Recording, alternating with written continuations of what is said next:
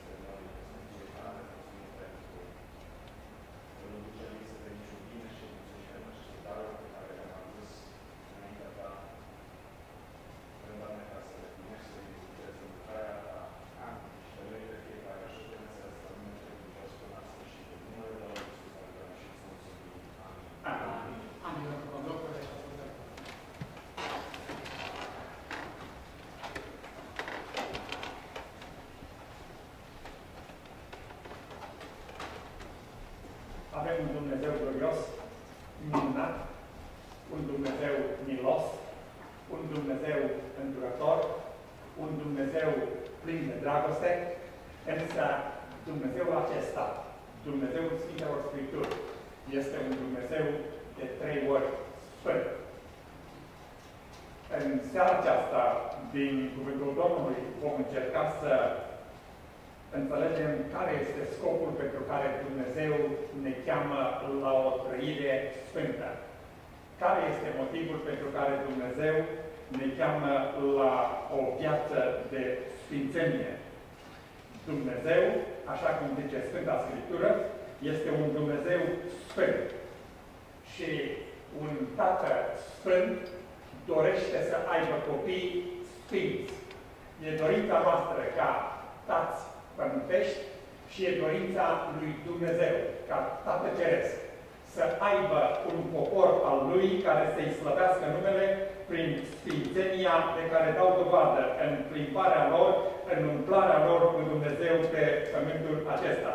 Sfânta Scriptură ne face foarte clar că Dumnezeul Bibliei este un Dumnezeu sfânt.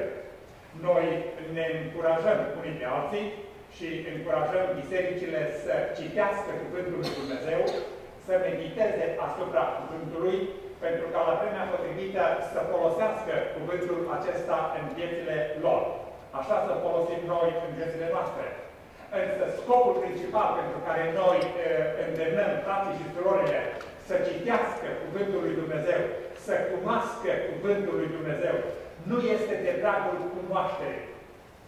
Noi vrem să cunoaștem Cuvântul lui Dumnezeu ca să-L cunoaștem mai bine pe Dumnezeul Cuvântului.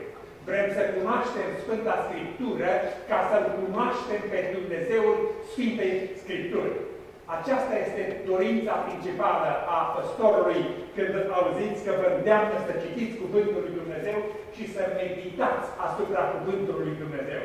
Citindu-l, meditând asupra Cuvântului, asupra Cuvântului care locuiește din verșug în noi, avem posibilitatea ca prin lumina Duhului Sfânt să-L cunoaștem mai bine pe Dumnezeu. Cunoașterea lui Dumnezeu, zice Sfânta Scriptură, este viața veșnică. Și viața veșnică este aceasta, să te cunoască pe tine singurul Dumnezeu adevărat și pe Iisus Hristos pe care l-ai primit tu. Scopul pentru care noi ne îndemnăm unii pe alții să-L cunoaștem pe Dumnezeu este pentru că Dumnezeul acesta este un Dumnezeu sfânt și dorește ca familia pe care El a înființat-o și a câștigat-o cu prețul sângelui Fiului Său, Iisus Hristos, să fie o familie sfântă. Chemarea la sfințenie a credincioșilor este bazată pe temelia de neclintit a Sfintelor Scripturi, în baza căruia Dumnezeu este Sfânt. Și zice, fiți sfinți, căci eu sunt Sfânt. Scripturile Vechiului Testament, cât și Scripturile Noului Testament ne spune că Dumnezeu este un Dumnezeu Sfânt. Ne-am obișnuit prea mult cu un Dumnezeu milos. Și adevărat, Dumnezeu milos. Încercăm să prezentăm chiar și celor necredincioși un Dumnezeu plin de dragoste. Un Dumnezeu care cheamă și care iartă. Și adevărat, Dumnezeu este Dumnezeul milei. Însă Dumnezeul milei este Dumnezeul sfânt al milei. E adevărat că Dumnezeu este dragoste. Însă Dumnezeul dragostei este un Dumnezeu sfânt. Și toate acțiunile lui Dumnezeu sunt acțiuni sfinte. Dumnezeu își arată mila pentru că este sfânt. Și Dumnezeu își arată dragostea pentru că este un Dumnezeu sfânt. Toate atributele lui Dumnezeu, esența divină a Dumnezeirii, este în sfințenia lui Dumnezeu. Și Sfânta Scriptură zice în Psalmul 93 cu versetul 5 că Sfințenia este podoaba casei tale, Doamne, pentru cât vor ținea veșniciile, vremurile. Sfințenia este podoaba casei lui Dumnezeu. Și care este casa lui Dumnezeu? Și casa lui Dumnezeu, zice Sfânta Scriptură, suntem noi, răscumpărații lui Dumnezeu prin credință în jertfa de la Calvar a Domnului Isus Hristos. Biserica, care este mireasa lui Hristos, este chemată să facă cunoscută, să arate sfințenia lui Dumnezeu. Sfințenia este o doaba casei lui Dumnezeu. Și casa lui Dumnezeu suntem noi. Știți ce înseamnă asta? Singura dovadă că noi suntem al lui Dumnezeu și că suntem în Isus Hristos este viața sfântă pe care noi o trăim pe pământul acesta. Și Sfânta Scriptură are niște cuvinte glorioase, mărețe, în același timp niște cuvinte care, atunci când ne gândim la ele, așa cum ne învață cuvântul Domnului, ne face să tremurăm. Haideți să citim unul din versetele acestea, care se găsește la Epistola Apostolului Pavel, eu cred că a fost scrisă de Apostolul Pavel, către evrei. Evrei, capitolul 12.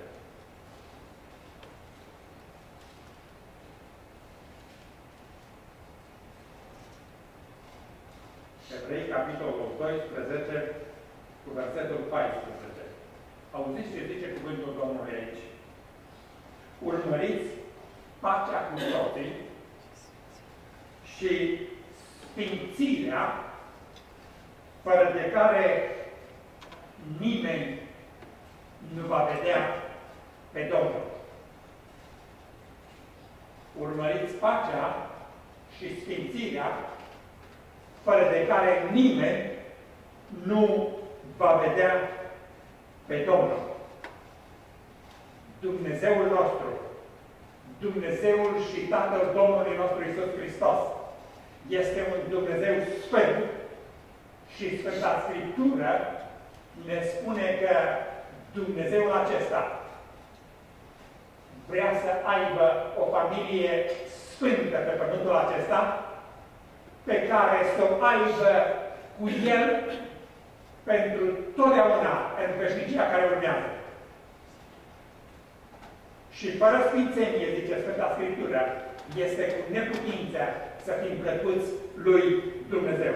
În cartea Levitic, capitolul 11, cu versetul 44, și în cartea Levitic, capitolul 19, cu versetul 2, și în mai multe alte versete, Sfânta Scriptură face clar un lucru. Fiți sfinți, căci eu sunt sfânt. A fost porunca lui Dumnezeu pentru poporul Israel, pentru poporul ales. Fiți sfinți, căci eu sunt sfânt. Ceea ce am citit în Noul Testament este confirmarea cuvântului lui Dumnezeu din Vechiul Testament. Vechiul Testament nu contrazice, Vechiul Testament nu contrazice Noul Testament. Spusele Vechiului Testament sunt confirmate de Noul Testament. Dumnezeu își cheamă poporul evreu ca să fie sfânt, că El este sfânt. Și Dumnezeu își cheamă biserica Lui, casa Lui, să fie sfântă pentru că El este sfânt. Dumnezeu nu are un, un patern, Dumnezeu nu are un model căruia să se conforme. Dumnezeu nu are un standard la care să privească și să zică, aș vrea să fiu așa. Sfânta Scriptură zice că Dumnezeu însuși este standardul acesta. Dumnezeu este Sfânt. Și toată creațiunea lui Dumnezeu este chemată să se sfințească după standardul acesta care este Dumnezeu. Dumnezeul nostru este un Dumnezeu Sfânt. Profetul Isaia, capitolul 6, cu versetul 3, în templul din Ierusalim, merge să afle un răspuns la întrebările lui. Și când a intrat acolo, a avut o vedenie și în vedenia aceasta fiintele care erau în jurul tronului dumnezeiesc strigau cu voce tare, Sfânt, Sfânt, Sfânt este Domnul oștirilor. Și când Isaia s-a văzut în împrejurarea aceasta, a zis, Vai de mine, sunt pierdut! Dumnezeul Bisericii, Dumnezeul nostru, este un Dumnezeu Sfânt. Apostolul Petru vine și citează cuvintele Vechiului Testament în Noul Testament și în versetul 15 și 16 zice așa, căci după cum cel ce v-a chemat este Sfânt, fiți și voi sfinți în toată purtarea voastră, căci este scris, fiți sfinți, căci eu sunt Sfânt.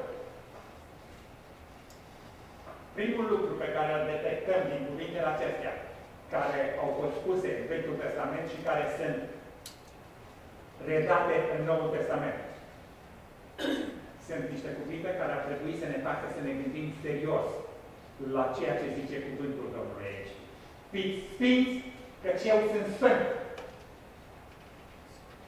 Cuvintele acestea nu sunt o sugestie. Nu sunt o părere. Cuvintele acestea sunt o poruncă dumnezeiască. Nu există un alt standard la care să privim. Singurul model este Dumnezeu, Dumnezeu este Sfânt și Dumnezeul acesta poruncește poporului Lui să fie Sfânt pentru că El este Sfânt. Nu e loc pentru debate aici. Este o poruncă divină. Asta însemnează că este de datoria noastră, ca trup, casă a lui Dumnezeu, să traducem în viața noastră de fiecare zi Cuvântul lui Dumnezeu. Fiți sfinți, căci eu sunt sfânt. Haideți să avem în vedere lucrul acesta. Dacă Dumnezeul nostru este un Dumnezeu sfânt, cum privește Dumnezeul la mine? Cum privește Dumnezeu la noi? Datorită faptului că Dumnezeu este un Dumnezeu sfânt, trebuie să avem în vedere că Dumnezeu nu scuză păcatul niciunei persoane, niciunei ființe în universul acesta. Păcatul nu are scuză înaintea lui Dumnezeu. Habacuc zice că ochii tăi sunt așa de curați, încât nu pot să privească rău. Dumnezeul Bibliei, Dumnezeul Bisericii, este un Dumnezeu sfânt, un Dumnezeu curat, care nici măcar nu poate să privească rău. Și zice Sfânta Scriptură, pentru că Dumnezeu este sfânt, ne cheamă să fim sfinți. Un om sau o femeie, un tânăr sau o tânără, care pretind că sunt fii și fiicele lui Dumnezeu, ei trebuie să trăiască o viață în sfințenie. Ce însemnează să fii sfânt? Avem cuvântul acesta din limba ebraică de la un cuvânt care zice kadosh. Sunt două cuvinte folosite în sensul acesta. Unul este kadosh, k -A. Iar celălalt este kodosh, K-O. Asta însemnează pus deoparte. Dumnezeu în persoana Lui este unic. Nu mai este altcineva ca El. Și pentru că Dumnezeul acesta este unic, Dumnezeul acesta este sfânt, ne cheamă pe noi, pe răscumpărații Lui, să realizăm faptul că în lumea aceasta noi suntem puși deoparte, suntem unici, suntem diferiți. Și diferența aceasta trebuie să se vadă între un credincios și un necredincios. Între unul care este un fiu sau o fică de Dumnezeu și unul care este un fiu sau o fică a celui rău. Dumnezeu este sfânt și biserica este chemată să se sfințească. Sfânta Scriptură ne poruncește că noi trebuie să fim sfinți. Fiți sfinți, căci eu sunt sfânt zice Dumnezeu. Urmăriți pacea și sfințirea, fără de care nimeni nu va vedea pe Domnul. Sunt două clase de persoane pe pământul acesta care îl vor vedea pe Dumnezeu. Matei, capitolul 5, versetul 8. Ferice de cei cu inima curată, căci ei vor vedea pe Dumnezeu. Și Evrei, capitolul 11, 12 cu versetul 14. Urmăriți pacea și sfințirea, fără de care nimeni nu va vedea pe Domnul. Oricum am dau, singura alternativă și singura variantă în virtutea căreia îl vom vedea pe Dumnezeu este o inimă curată și o viață sfântă. Sfânta Scriptură ne învață că persoanele acestea care au inima curățită de sângele vărsat pe crucea Golgotei a Fiului lui Dumnezeu și persoanele acestea care au fost sfințite și chemate să se sfințească, ei se numesc fii și fiicele lui Dumnezeu. Și Ioan zice în capitolul 3 cu versetul 3 din 1 Ioan, Acum suntem copii ai lui Dumnezeu. Și ce vom fi nu s-a arătat încă. Dar știm că atunci când se va arăta El, vom fi ca El. De ce? Pentru că îl vom vedea așa cum este El. Îl vom vedea pe Dumnezeu în toată gloria Lui, în toată sfințenia Lui. Îl vom vedea pentru că ne va face să fim asemenea chipului Fiului Său, Iisus Hristos. Frații surori, privilegiul acesta nu este pentru oricine, ci numai pentru aceia a căror păcate au fost curățite, îndepărtate, a căror inima a fost curățită și pentru cei pe care Dumnezeu i-a sfințit și pe care Dumnezeu, cărora Dumnezeu le poruncește să se sfințească. Când Sfânta Scriptură ne spune să urmărim pacea și sfințirea fără de care nimeni nu va vedea pe Dumnezeu, asta însemnează și uh, i-a arătat pe paginile Sfintelor Scripturi că aspectul acesta al sfințeniei uh, are două ramuri. Este o parte pe care Dumnezeu o face în totalitate și după aceea este a doua parte la care Dumnezeu ne cheamă să ne dăm toate silintele, ca noi înșine să ne sfințim. Haideți să ne uităm în Sfânta Scriptură la câteva exemple de genul acesta. Pentru că Dumnezeu este un Dumnezeu Sfânt, Dumnezeu nu tolerează păcat. Nu cumva să ne încelăm, să ne lăsăm înșelați de ideea că, fraților, eu sunt pastor, sunt predicator, predic Evanghelia și dar, chiar dacă nu mai greșesc câteodată, Dumnezeu închide ochii. Dumnezeu nu închide ochii la păcat. Indiferent care este persoana respectivă. Vă aduceți aminte că la un moment dat poporul Israel a cerut să aibă un împărat. Și prorocul Domnului s-a dus la el și zice, Doamne, uite ce zic ăștia. Și Dumnezeu îi spune, ce să mă iau. Ei nu te leagă de pe tine. Ei nu leagă de pe mine. Dă-l un împărat. Și Dumnezeu nu este împărat. Îi spune la Samuel, ăsta este împărat. Și Saul ajunge împărat.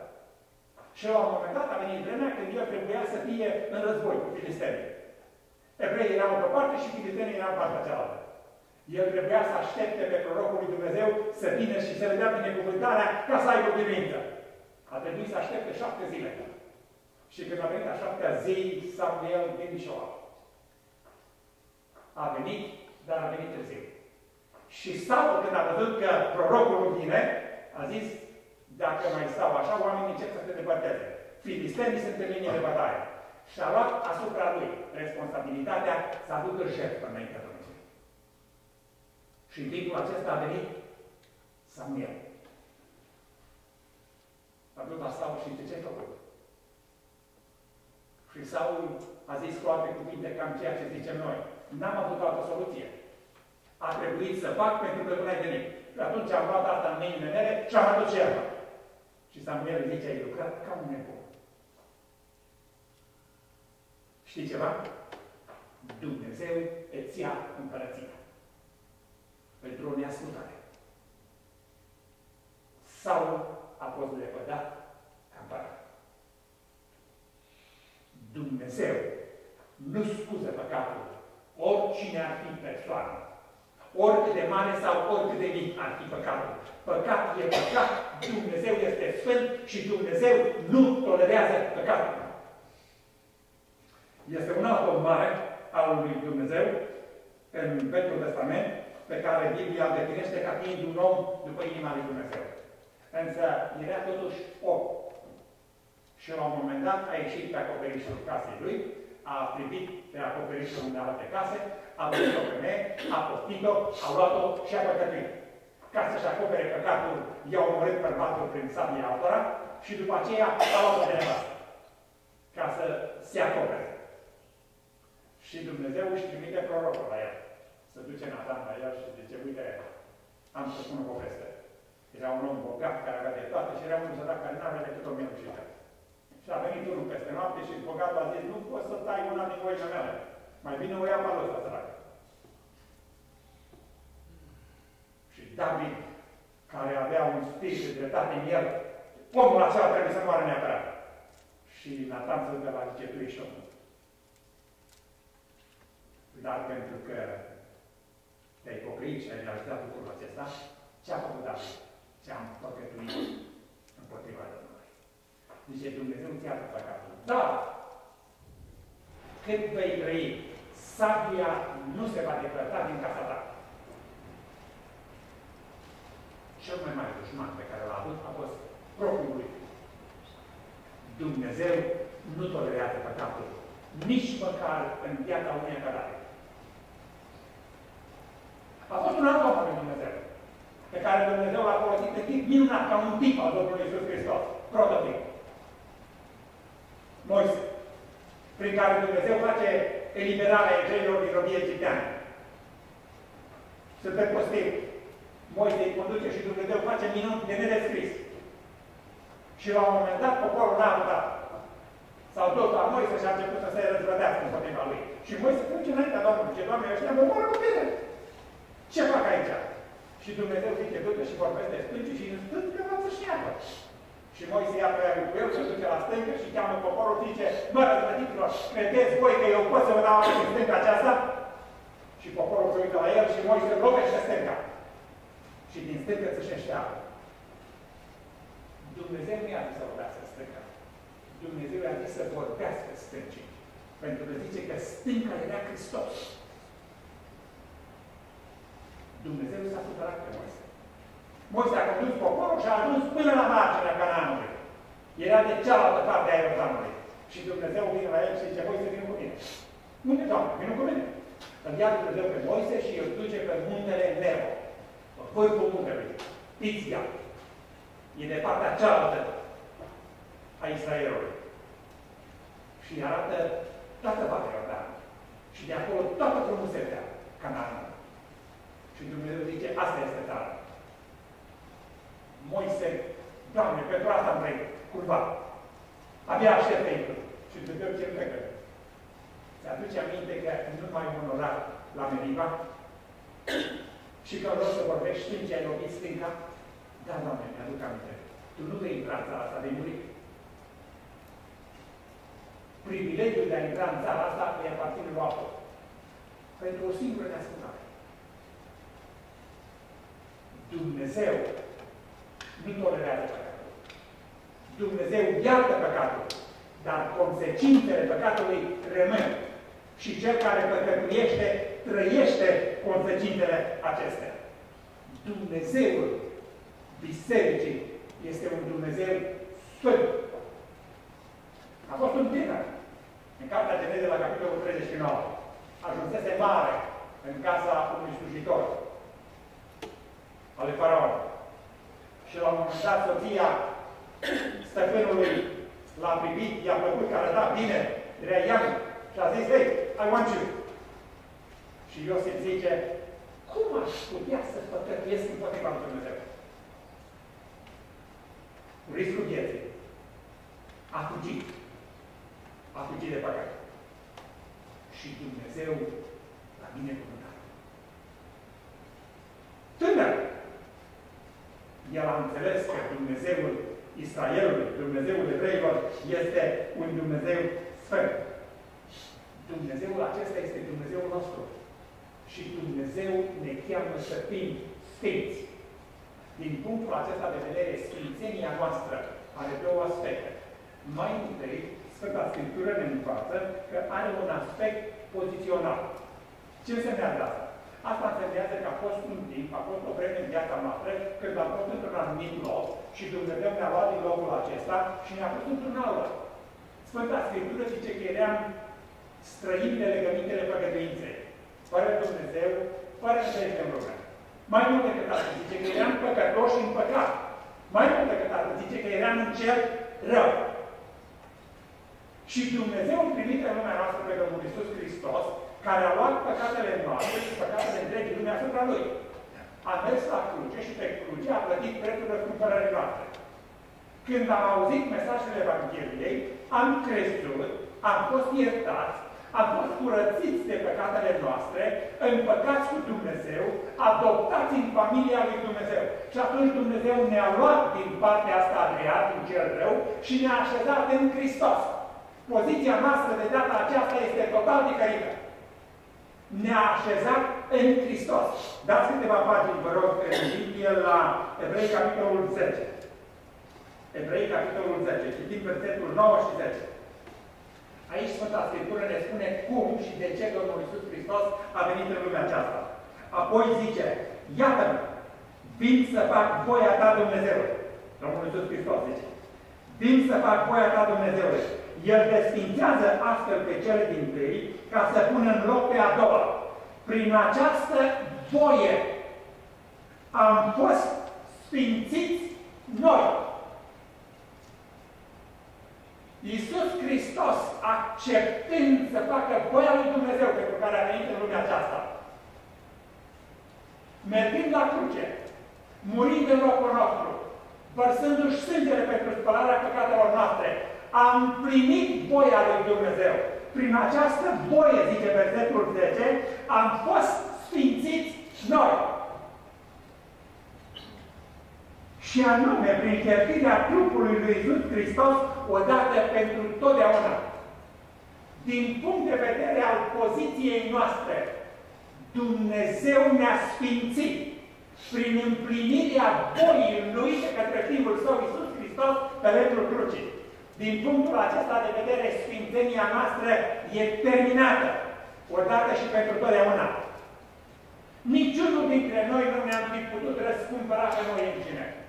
Niciunul dintre noi nu ne-am fi putut uh, uh, sfinți Dumnezeu a trebuit să vină în ajutorul nostru și Dumnezeu a pregătit sfințirea aceasta prin jertfirea trupului Fiului Său pe lemnul crucii și prin sângele Lui a curățit păcatul nostru, a depărtat fără de legea noastră, ne-a sfințit, ne-a pus deoparte. Motivul pentru care Dumnezeu ne-a sfințit a fost pentru că în sine însuși, înainte de întemeierea lumii, Dumnezeu a decis să ne mântuiască. Dumnezeu ne-a mântuit ca să fim sfinți.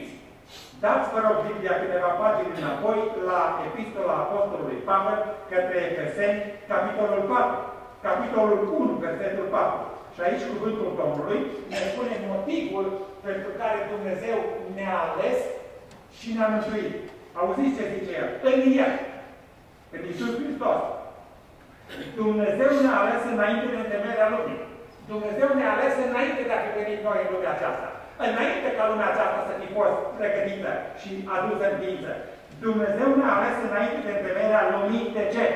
Ca să fim sfinți și fără prihană. Dumnezeu a plănuit mântuirea noastră ca să ne facă sfinți și fără prihană. Dumnezeu ne-a pus deoparte pentru mântuire. Dumnezeu ne-a pus deoparte pentru sfințire. Dinainte de întemeierea lumii. Și ne-a mântuit prin trimiterea lui Iisus Hristos în lumea noastră, care, așa cum am citit la Evrei, capitolul 10, versetul 9 și 10, Domnul Iisus Hristos s-a adus pe sine jertfă odată pentru totdeauna. Și împlinind voia lui Dumnezeu, prin voia aceea, zice Sfânta Scriptură, ne-a sfințit. Din punct de vedere pozițional, suntem sfințiți odată pentru totdeauna. Și acum lucrurile se complică puțin. Dacă Dumnezeu m-a sfințit, pot pierde sfințirea aceasta? Și dacă Dumnezeu m-a făcut sfânt, cum aș putea să mă fac eu mai sfânt decât atât?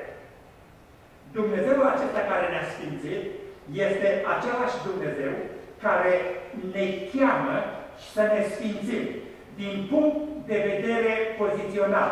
Statutul nostru înaintea lui Dumnezeu este consfințit. Noi suntem sfinți. Auziți ce zice Apostolul Pavel în 1 Corinteni, capitolul 1, versetul 2. Către Biserica lui Dumnezeu care este în Corint, către cei ce au fost sfințiți.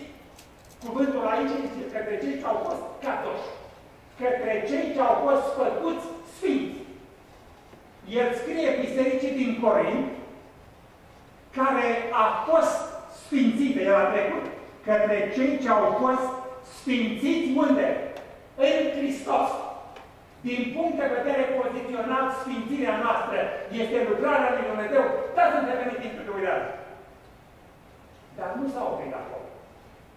După ce Dumnezeu ne-a sfințit în Iisus Hristos, zice către toți cei chemați să fie sfinți. Dumnezeu ne-a sfințit în Hristos și Dumnezeu ne cheamă să ne sfințim. Păi, Doamne, cum aș putea să mă sfințesc? Aici e a doilea cuvânt care ne zice Cotoș. Dumnezeu te-a sfințit, Dumnezeu te-a pus deoparte din punct de vedere spiritual, suntem aranjați. Problema este că noi trăim în lumea aceasta, trăim unii cu alții și trăim în mijlocul unei lumi murdare care zace în păcat și în cel rău. Și în lumea aceasta, noi suntem chemați să facem dovada sfințeniei de care Dumnezeu ne-a făcut parte. Păi cum aș putea să fac lucrul acesta?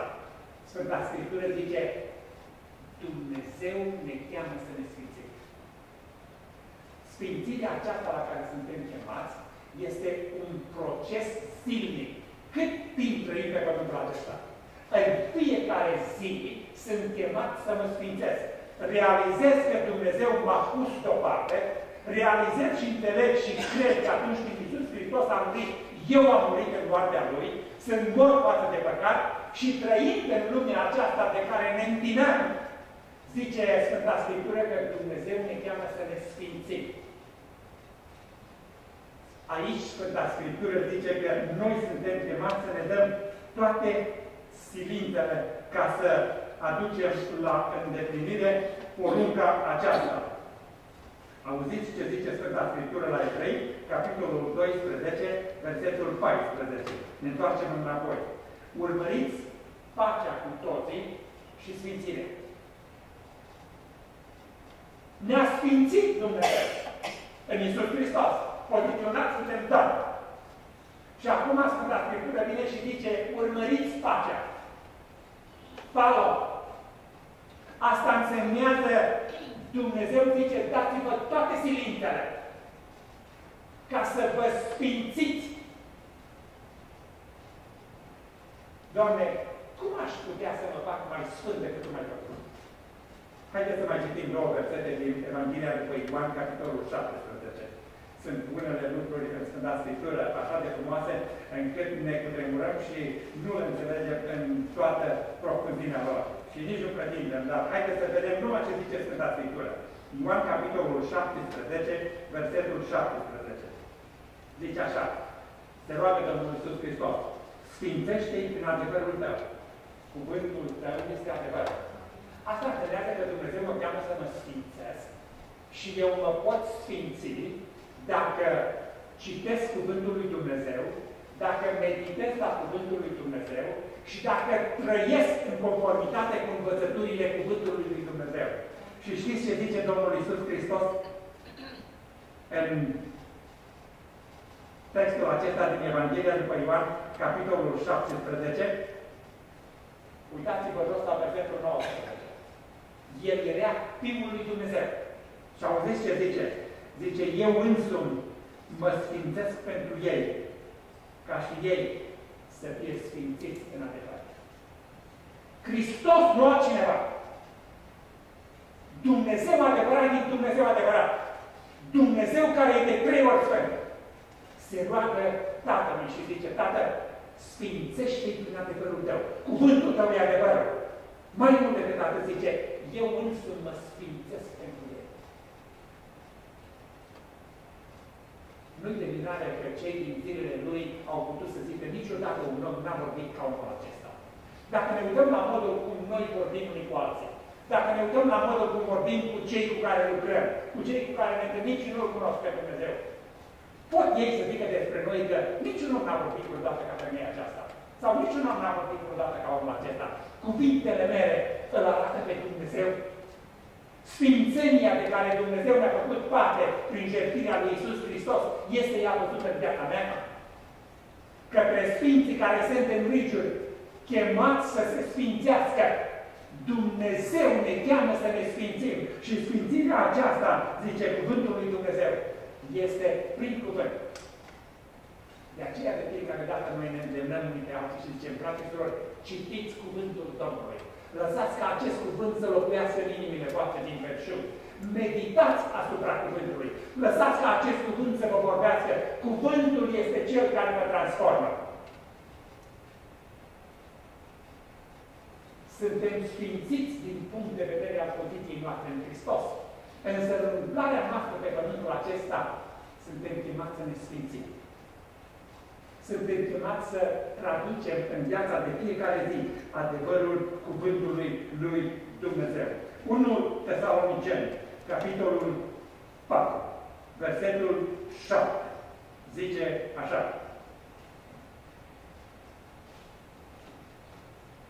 1 Tesaloniceni, capitolul 4, versetul 7. Căci Dumnezeu nu ne-a chemat la necurățire, ci Dumnezeu ne-a chemat la sfințire. Urmăriți pacea și sfințirea, fără de care nimeni nu va vedea pe Dumnezeu. Pentru că Dumnezeu ne-a sfințit. Ca să ne sfințească, Dumnezeu a trebuit să vină în lumea noastră, să trăiască printre noi, ca noi, fără păcat, să ia păcatele noastre asupra Lui, să meargă la cruce, să-și verse sângele pentru curățirea inimii noastre și ne-a binecuvântat cu darul credinței, în harul Lui ne-a mântuit. Dumnezeu ne-a sfințit, ne-a pus o parte a zis, făcut pentru ce? Pentru peșnicie.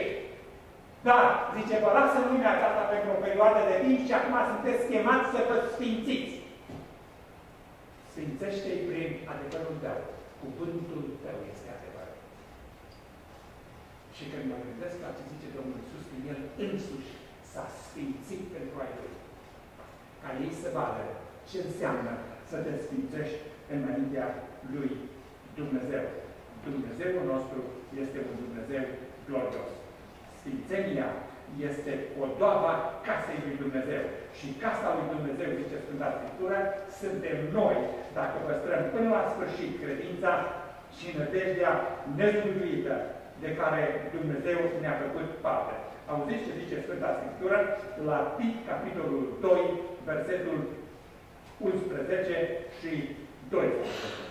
Aici Biblia zice așa, căci Harul lui Dumnezeu care aduce mântuire pentru toți oamenii a fost arătat.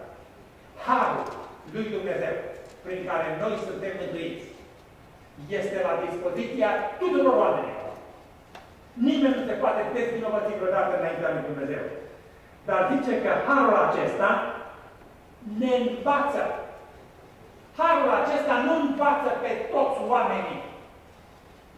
Harul lui Dumnezeu a fost revărsat pentru toți oamenii, însă îi învață pe cei care se bucură de iertarea lui Dumnezeu, pe cei care se bucură de curățirea păcatelor, pe cei care se bucură de curățirea inimii. Harul este numai pentru credincioși. Ei sunt învățați de Dumnezeu. Pe noi Dumnezeu ne învață să ne sfințim. Pe noi Dumnezeu ne cheamă să slăbim. Pe noi Dumnezeu ne cheamă să glorificăm. Pentru că am crezut în Harul Lui. Am primit Harul Lui care a venit prin Iisus Hristos, Domnul nostru. Harul lui Dumnezeu este același și face două lucruri. A fost arătat pentru toți oamenii, însă îi învață numai pentru cei a căror inimă a fost curățită, pentru că ei vor vedea pe Dumnezeu. Harul îi învață numai pe cei care se sfințesc, pentru că ei îl vor vedea pe Dumnezeu. Și Sfânta Scriptură zice că Dumnezeu care a început lucrarea aceasta noi o va duce până la capăt, până în ziua lui Isus Hristos. Ce înseamnă asta? Înseamnă că trebuie să fim atenți la modul în care noi trăim și ne desfășurăm viața, activitatea pe pământul acesta.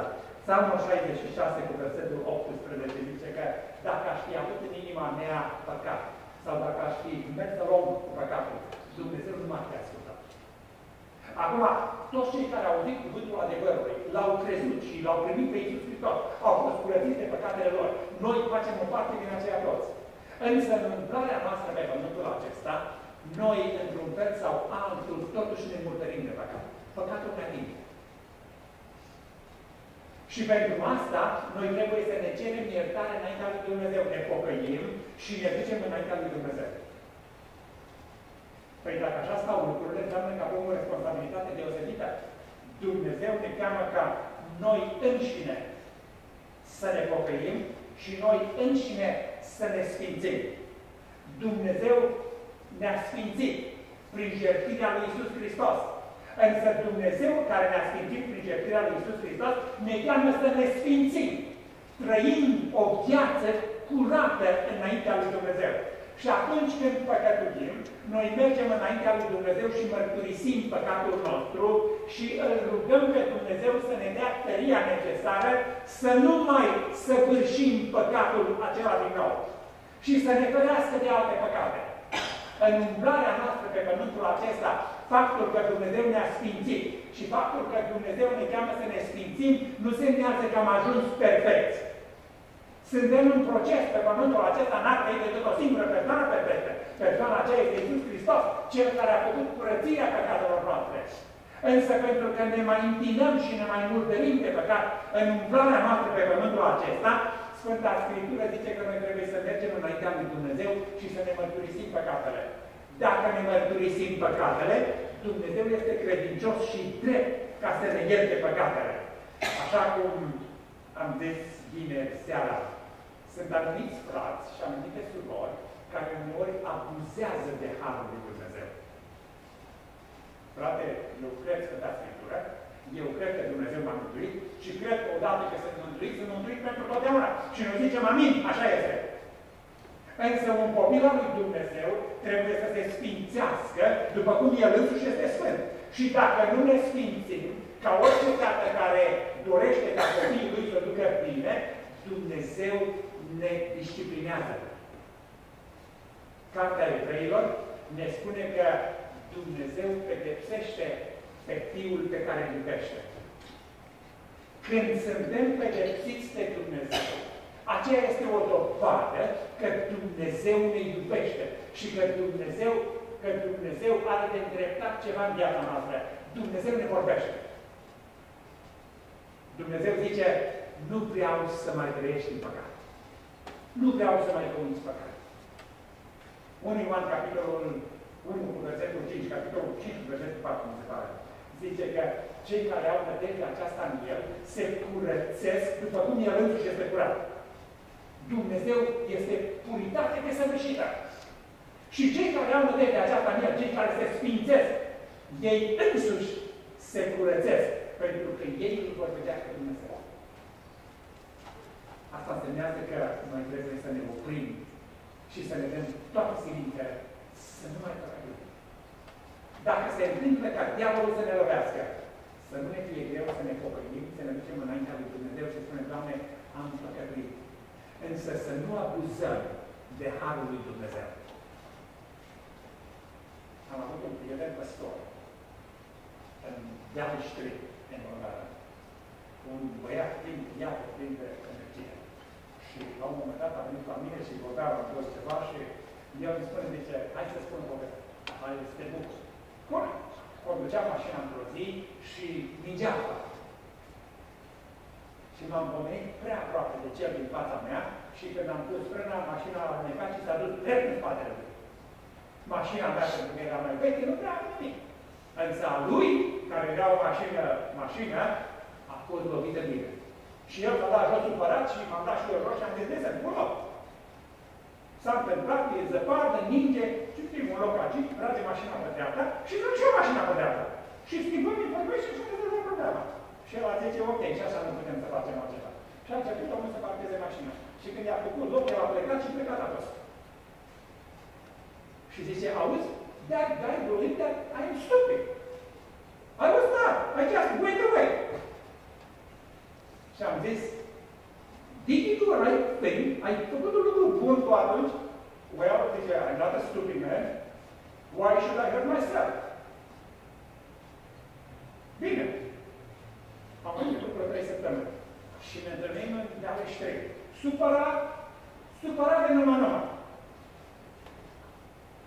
Ce ai făcut? Zice, nici nu pot să spun. Nu mi-am imaginat că pot să trăiesc într-o lume și într-o zonă așa de rea. În dealul știri, în Pesepeni. Era o parte bună a dealul știri. Păi ce mi-ai făcut? Am avut mașina parcată. Și cineva a venit cândva și n-a putut să treacă cum să cade, probabil că a fost un drog mare, s-a dus puțin înainte și ca să poată să treacă a luat din volan și prin greșeală probabil că a apăsat pe accelerație și ne-a lovit toată partea stângă a mașinii. Dar a lovit-o așa de rău că nici măcar nu poate intra mașina. Și, păi zice, nu știu cine a fost. A fost seara, a fost noapte, a fost zăpadă și și-a de drum. I cannot believe, zice el, că a putut să se întâmple așa ceva și că n-a lăsat măcar un bilet în geam să zică, uite ce am făcut, dăm un telefon. Și eu mă uit la el și zic, tu crezi că el a fost stupid? Și se uită la mine, oh, you remember that? I do. Tu nu crezi că Dumnezeu vrea să dea o lecție? Și zice, niciodată nu m-am gândit la lucrul ăsta. Facem uneori lucruri și credem că s-a întâmplat. Băi, s-a întâmplat. Dar mai înainte, în Sfânta Scriptură, oamenii nu zicea s-a întâmplat. Zice, Dumnezeu vrea să-mi spună ceva. Dumnezeu vrea să corecteze ceva în viața mea. Urmăriți pacea și sfințirea, fără de care nimeni nu va vedea pe Domnul. Asta însemnează că eu trebuie să fiu un soț sfânt. Este sfințenia mea evidențiată când soția mea face o greșeală în casă, sau când zice ceva care nu-mi place, nu cumva fac explozie imediat. Și dacă lucrul acela se întâmplă, este aceasta o dovadă a Sfințeniei mele? Sfânta Scriptură zice, vorbirea voastră să fie cu har și să cu sare. Ce ar putea să zică despre mine soția mea? Ce ar putea să zică despre noi copiii noștri? Nu cumva se întâmplă uneori că copiii noștri au geată între soț și soție? Robul Domnului nu trebuie să se certe. El e chemat să se sfințească. De la lucrurile cele mai mici până la lucrurile cele mai mari.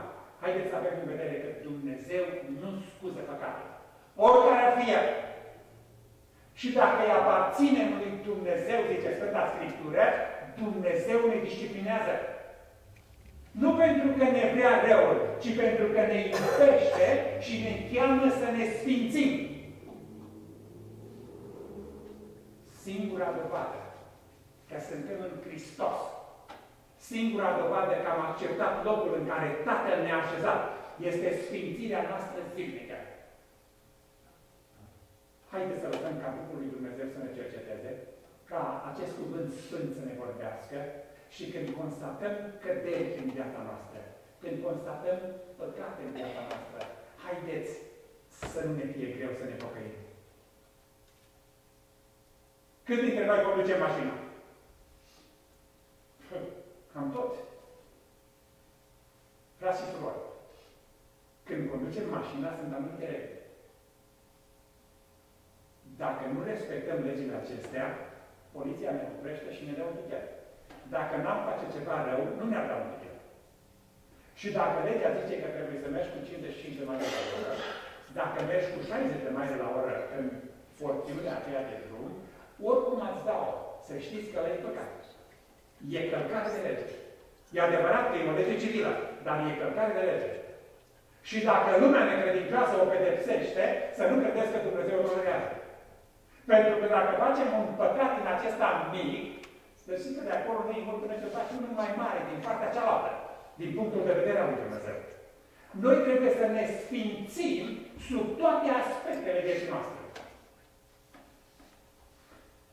Ginele meu a terminat Academia de Poliție.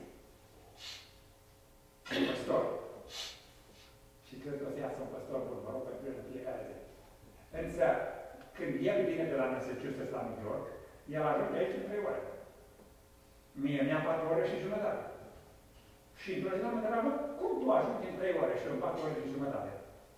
Păi zice, mașina merge și eu merg. Cu cât mergi? Păi zice, unde este 65 de mai la oră, mergeam cu 78, 79. Și unde sunt 55, mergeam cu 68, 69. Și dacă te oprește miliția, Una, dacă te oprește miliția, îi spun, listen, I am a store, but I have a police license too. well, ce ai face dacă te-ar opri Dumnezeu? Well, nu m-am gândit și la lucrul ăsta. Dacă pe mine mă oprește poliția și îmi dă tichet, nu sunt vinovat și eu zic, ești vinovat. Dacă tu calci aceeași lege pe care eu o calc, nu ești vinovat? Ce sunt vinovat, dar nu am venit niciodată. Am zis că dacă sunt ofițer de poliție, eu pot să plec. Știți ce? Jamie de atunci a început să învețe lecția. Și nu mai vine în trei ore la New York. Nici în trei ore jumate. Ia și el patru ore și un sfert, patru ore jumate. Și dacă e chiar mai mult. urmăriți pacea și sfințirea, fără de care nimeni nu va vedea pe Dumnezeu. Frați și surori, avem un Dumnezeu glorios, minunat. Să nu ne lăsăm și că dacă venim la biserică, dacă citim un psalm, punem o poezie, cântăm o cântare, predicăm un text mișto de la Scriptură, e fain cu noi.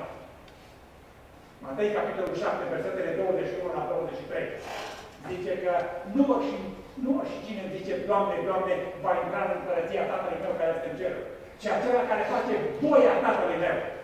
și Sfânta Scriptură zice că voia lui Dumnezeu este sfințirea noastră. Doamne, mulțumim că ne sfințim. Ajută-ne să ne sfințim. Domnul să ne binecuvinteze.